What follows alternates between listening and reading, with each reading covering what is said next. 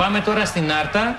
Εδώ αρχίζει ε, ο Τσοντάκης με ένα σουτ δίπλα στο δοκάρι των Τρικάλων, στο τέταρτο λεπτό. Ευκαιρία με τον Τόμιτς, ε, η μπάλα στο δοκάρι, εδώ είναι η φάση με τον Λουκίνα.